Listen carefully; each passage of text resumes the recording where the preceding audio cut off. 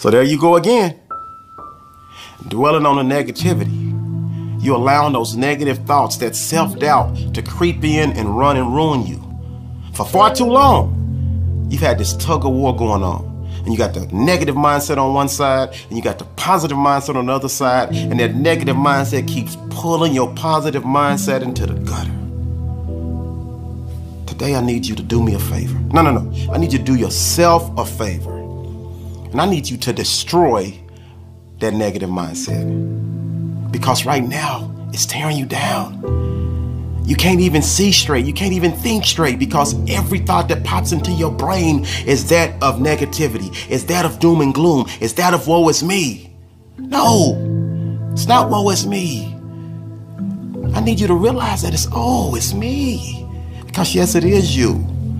I know for myself, I have negative things that want to pop into my brain, and we all are human. We're going to feel and we're going to think certain things. But certain ones, the moment they pop in, I say, no. I stop them dead in their tracks. And I need you to learn how right now to stop those negative thoughts, that negative mindset dead in its tracks. I know, I know, you went through a lot in your life. You've seen a lot. But today is the day for you to stop drowning in misery. As a matter of fact, here's what I want you to do. It's so crazy because I was at this seminar. I was self-improving. I was filling myself with positivity. I was surrounding myself with positive energy. Those are things that you need to do. That's one way to destroy that negative mindset. So I'm in this room full of winners. I'm in this room full of great people and leaders. And one guy gets up, right? And basically what he does is he sets this cup of dirty water on this table, right? And then what he does is he grabs that cup, that dirty cup, he puts it in this bigger container that didn't have anything in it. Then he gets some clean water and he just starts pouring that clean water into that dirty water. And he kept pouring and pouring and pouring and pouring and pouring and pouring and pouring some more. And as he kept pouring, a funny thing happened. We looked up and all of a sudden, all of the water was clear. There was no trace of the dirty water. You want to know how to destroy that negative mindset? You start pouring positivity, pouring positivity into your life, submersing yourself in books, podcasts, TV shows, videos, listening to positive music, hanging around positive people, continuing to overflow positivity into your life. And before you know it, that negative mindset has been destroyed.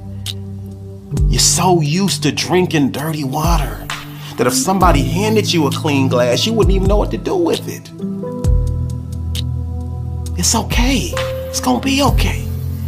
This too shall pass.